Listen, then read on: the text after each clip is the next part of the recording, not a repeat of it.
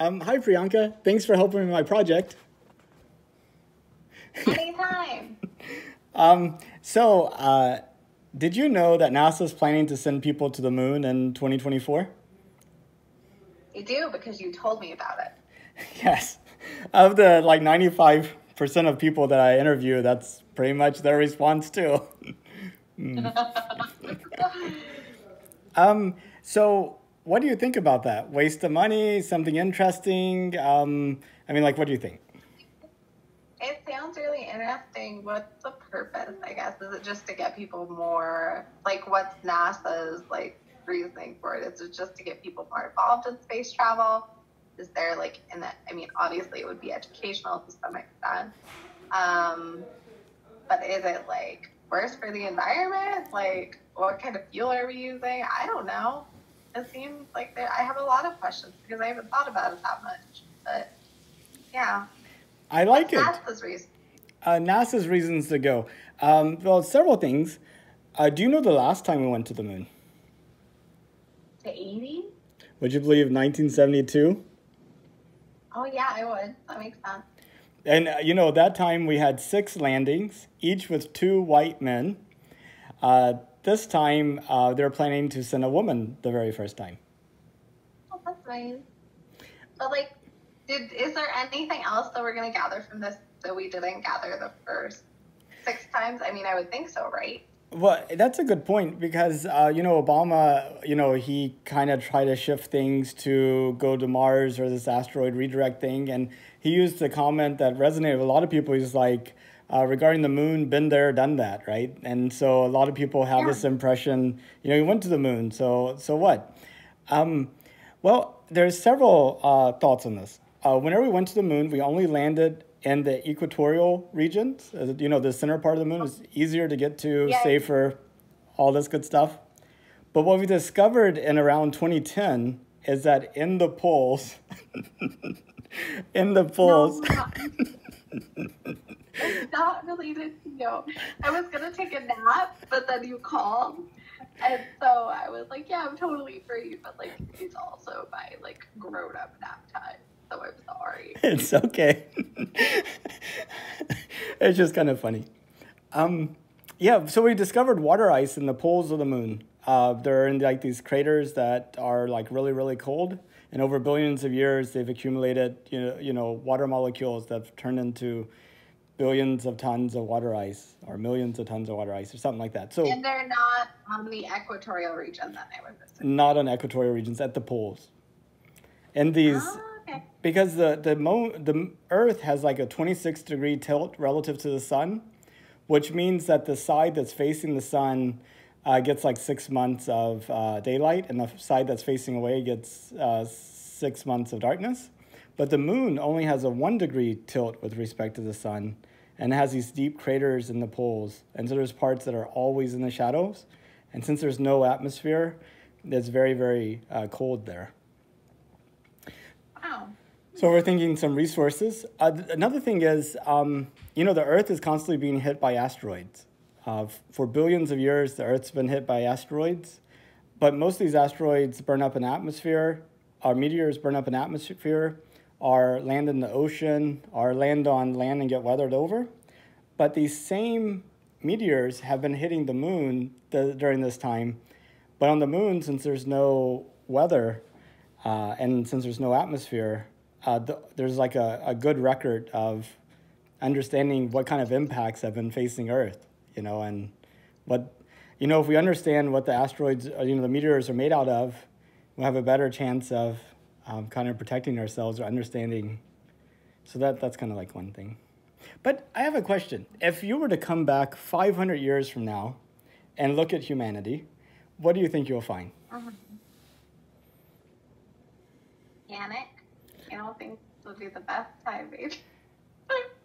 And- um, I don't know. I think like like in terms of our knowledge or in terms of just us in general. Um, how about more specifically where we are?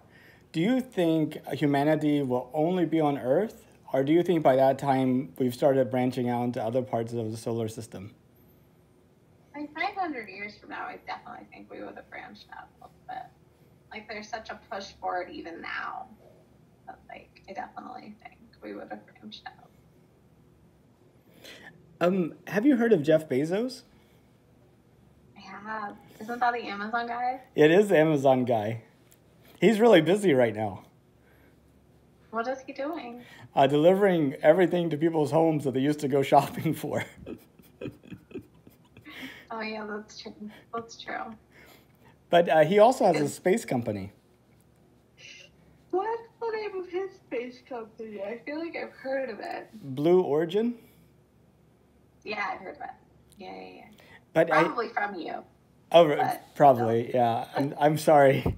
It's a blessing and a curse. I hope uh, you see the blessing part also. Um, so he talks about Blue Origin and he talks about Amazon. And before this whole COVID 19 thing, he said he actually thought his work at Blue Origin was more impactful on humanity and more important than his Amazon work. Because Wow.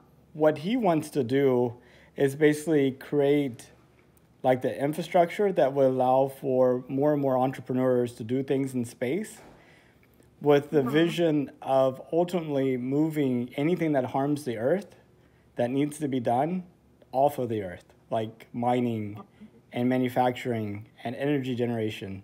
Like for example if we could mine the moon and set up a manufacturing facility there to make solar panels and then get them into like an orbit around earth and beam energy down and have continuous uh, Like, like outsourcing jobs to like other planets, basically. well i mean i think pretty much everybody thinks that all manufacturing is going to be uh, automated and mechanized it's just a matter of time um, i mean there are factories in china where they don't even turn on the lights because the machines don't need the light Hmm. and Well, that makes sense. So, you know, if you're already going to make everything automated anyway, it really doesn't matter where you put it. Well, that's true. That's true. Yeah. Okay, a final question.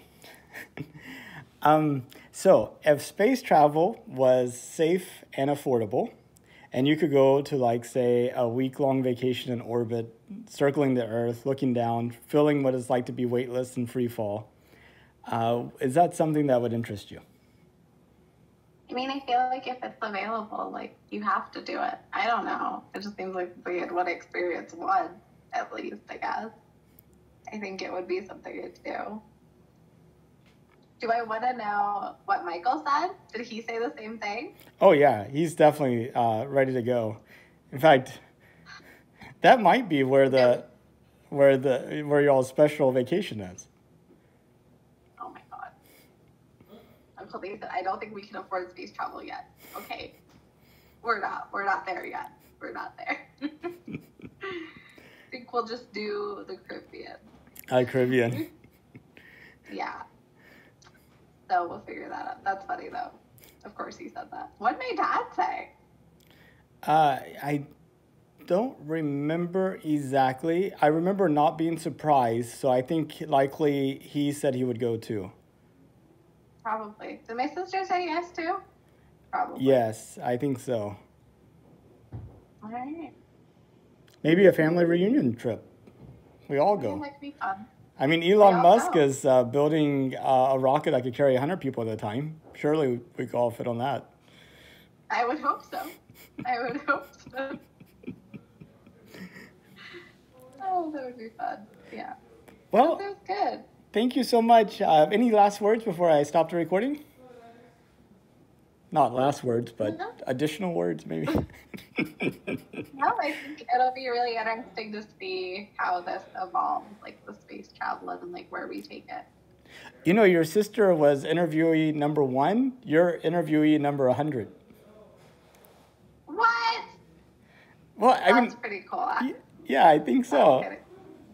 Y'all are at the beginning and end of my 100 days. But I mean, I got 1,740 uh, more days to go, but that's another. Okay. This is the start. That's all that matters. That was pretty cool. cool.